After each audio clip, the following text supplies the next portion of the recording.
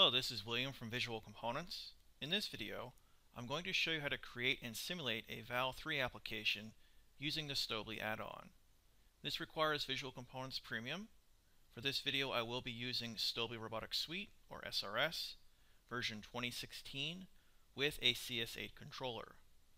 To get started, the first step is to turn on the Stäubli add-on in Visual Components Premium. I'll click the File tab to go backstage. Click Options, click Add-on, and for the Stäubli add-on, click Enable, and notice here you have to restart the application. So click OK to save the change, and then restart Visual Components Premium. Okay, I restarted Visual Components Premium. The next step is to create a robot cell in the 3D world. I'll go to my eCatalog panel, and under Models by Manufacturer, scroll down, and select Stäubli to display the Stäubli robots. I'll now search for a robot called RX170. I'll now add that robot to the 3D world. And you usually want to use the Stäubli add-on when programming the robot. I'll now go to the Program tab, and in the Windows group here, use the Show drop-down menu, and you have two panels. The Stäubli Cell Configuration panel can be used to connect a controller and map a robot. The Stäubli Controller I.O. Mappings panel can be used to connect signals in the components and robot in the 3D world to the controller, but you can access this panel from the Stäubli Cell Configuration panel. We're also going to focus on just connecting the robot to the controller, so I'm only going to show the Stäubli Cell Configuration panel, which you can now see here.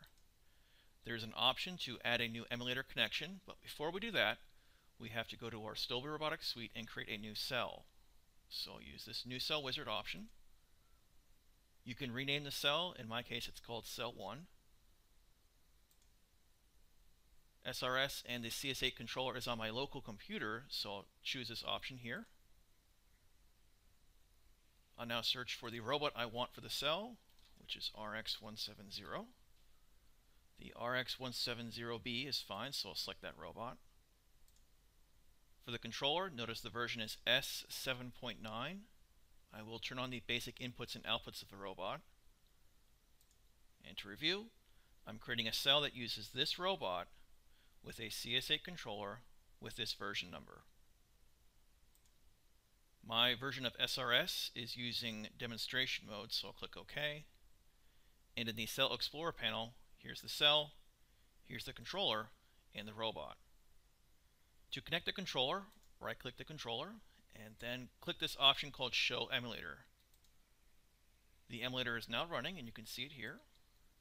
And to get the address of this emulator, go to the output window, and you want to display messages from the emulator. And from here you can find out the address and port number you need for the connection. So my address is a local host address of 127001. And since I'm using a CS8 controller version 7.9, I need to use the SOAP web service to connect the controller. So I need to use port number 851 in my case. Let's now go back to our Stäubli cell configuration panel and add a new emulator connection. In the Edit Emulator Target task pane, let's give the host name or address. In my case, it's 127001. The default port number is 5653, so if I test this connection, it will fail. And you can see here I'm unable to connect to the emulator. So let's now use that port number of 851 and test the connection. And you can see it will succeed. So I know I can connect my Visual Components Premium to the controller running an SRS. For the username and password, I will keep the defaults. If you already set your own username and password for your controller, you will, of course, need to change these. And if you are trying to connect a CS9 controller, the default username and password are different. But I know the connection will succeed, so I'll now click Apply to create that emulator connection, which you can see listed here. Notice by default the emulator connection is turned on. And if I go to the Properties panel, you can see the connected state is true, but you can click this button here to disconnect from the emulator. And the Properties panel, notice its state is connected to false. Let's turn it back on. And now we need to map our simulation robot to the controller. So right click the robot element here and then click change connected robot. A robot you can connect to the controller will be highlighted yellow in the 3D world. So I'll click this robot. It's now changed to green. I'll click apply. Now the robot is mapped to the controller. To synchronize the robot with the controller, you have a couple different options. Go to the Stäubli Cell configuration panel and select the emulator connection. Now go to the properties panel and you have this property called simulation mode. So by default this is set to idle so the robot in the 3D world is not synchronized with the controller. To give you an example, go to SRS and in the cell group click show 3D view. This will create a scene for the robot connected to the controller. In this case this robot here. And you can see there's its pose. Let's also show the joints. I'll click the 3D view option here, joints view, then the controller. You can now see the robot has six joints, which are listed for the controller, and they're at zero value. So this is the joint zero position of the robot. Let's unpin these panels to get a better view. Notice the orientation of the scene, so let's actually change that in Visual Components Premium. And now, if I was to interact with the robot in the simulation, you can see it's not updating the robot in SRS. Likewise, if I interact with this robot, you can see that the robot in the 3D world in Visual Components Premium is not updating either. So to synchronize the controller with this robot, you have a couple options. Let's go back to our emulator, go to Properties, and for simulation mode, whenever you want to control the robot in the 3D world using the connected controller, you can use virtual or polling. For virtual, this allows you to synchronize the robot with a controller using a clock that's used by Visual Components Premium. So you can use a virtual runtime or real time when running the simulation. So now that I'm using virtual simulation mode, if I interact with this robot, you can see nothing's happening in SRS. If I now interact with this robot, there's still nothing happening. That's because you need to run the simulation to synchronize the robot with the controller. So once I hit the play button, you can see the robot snaps to the same pose of the robot here. And now when I interact with the robot using the controller, the robots are synchronized. You can also use these joint controls here. Let's now see how polling works. So if we go back to our emulator connection, properties, you can see the simulation mode is grayed out. That's because you need to reset the simulation to change the simulation mode for the controller or the connection. So if I reset, go back to the properties panel, I can now change simulation mode to polling. And this will use the clock of the controller and we do recommend you probably use a simulation mode of real time with 1 times normal speed. So if I run the simulation, the robots are synchronized, and I can now jog the robot here to update the simulation robot.